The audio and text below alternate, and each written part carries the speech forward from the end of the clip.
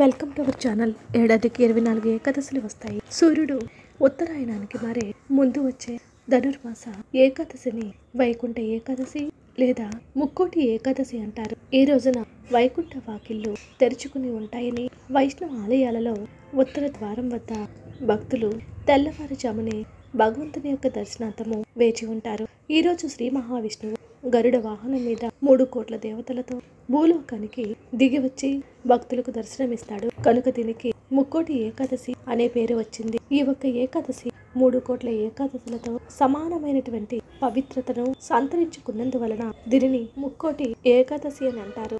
రేపు ఎంతో పవిత్రమైనటువంటి ఎంతో మహిమాన్వితమైనటువంటి ఎంతో శక్తివంతమైన రోజు. ఇలాంటి పవిత్రమైనటువంటి రోజున శ్రీ మహావిష్ణువు శ్రీదేవి భూదేవి తో కలిసి ఈ భూమి మీద ముక్కోటి దేవతలు ఉంటారు. ఇలాంటి రోజు గోవుకు ఈ ఒక్కటి ఎవరైతే తినిపిస్తారో వారు మీరు గోవుకు అలా పెట్టడం చూసి ఎంతో సంతోషించి మిమ్మల్ని దీవించి ఆశీర్వదించి వెళ్తారు. సకల ఐశ్వర్యాలు కలిగేలాగా దీవిస్తారు. ముక్కోటి ఏకాదశి రోజు గోమాతకు ఏం తినిపిస్తే ముక్కోటి దేవతలు ఆనందించి దీవించి వెళతారో ఈ వీడియోలో తెలుసుకుందాం. ఈ రోజు శ్రీ మహావిష్ణువును పూజిస్తే విద్య ఉద్యోగ వ్యాపార రంగాలలో విశేషంగా రాణించవచ్చు.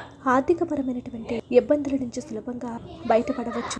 గోవులు సకల దేవతలు కొలివే ఉంటారు. అలాంటి దేవతలు నిలవే ఉన్న గోమాత చుట్టూ ప్రదక్షిణలు చేయాలి. గోవు మరియు దూడ నేల మీద నడిచి వెళ్తూ ఉంటే వాటి వెనుకనే మనం నడిచినప్పుడు వాటి కాళ్ళ నుంచి లేచిన మట్టి మన మీద పడుతుంది. అప్పుడు మనం ఒక పవిత్ర గంగా స్నానం చేసినట్లు అవుతుంది. ఇటువంటి పవిత్రత ఒక ఆవుకు మాత్రమే ఈ భూమిపై ఉంది. ముక్కోటి ఏకాదశి రోజు గోవుని ఇలా పూజిస్తే సకల శుభాలు భోగభాగ్యాలు ప్రాప్తిస్తాయి. గోవు నుదురు కొమ్ముల భాగంలో శివుడు కొలువు తిరిగి ఉంటాడు. అందువలన కొమ్ములపై చల్లిన నీరు జాలువారుతూ ఉంటే వాటిని చేతితో పట్టుకుని సిరసిపై చల్లుకోండి. త్రివేణి సంగమంలో నీటిని సిరసిపై చల్లుకున్నంత ఫలితం లభిస్తుంది అని పురాణాలు చెప్తున్నాయి. గోవు నాసిక భాగంలో సుబ్రహ్మణ్య స్వామి వారు ఉండటం వలన నాసికను పూజిస్తే సంతాన నష్టం ఉండదు. అదేవిధంగా గోవు ఈరోజు ఎంతో పవిత్రమైనటువంటి గోవుకు ఈరోజు గోవుకు పచ్చికండిని అదేవిధంగా శనగల్లో బెల్లాన్ని కలిపి తినిపించినట్లయితే అదేవిధంగా గోవు చుట్టూ ఎవరైతే ప్రదక్షిణ చేస్తారో వారికి ముప్పై మూడు